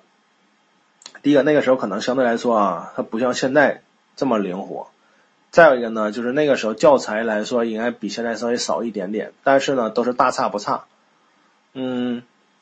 也是需要记很多很多的东西，而且他考的好多东西是额外的。那么这种情况下呢，一个记忆方式呢，就是适当的点你可以啊，像有些老师编一些口诀，但是呢，我也感觉到了，就是你口诀多，有可能把自己都绕进去了，它是另一种增加了你的记忆负担。口诀只适用什么呢？就是条目非常多，然后呢，你不通过口诀，你这些条目你都捋不下来的这种情况下，你可以记一些口诀。那么另外一种呢，就是场景性问题啊，施工的流程，这种呢，我建议大家是通过图片，或者是你要干过工程的情况下呢，你通过你自身的一个反馈跟身临其境的感觉，你去做。例如我们施工时，对不对？你要打垫层，就像我们的这个管道开槽，你需要需要先这个放线测量，确定平面位置，开挖，开挖基底之后，你要做垫层。然后呢，你要埋管、排管，然后对不对？土方回填啊，像刚才我省略了这个，呃，设置木撑、支设、防止管道移动等等。所以呢，你要是按照你的施工的工序的流程去走，这样呢，你就不会打跑偏了啊。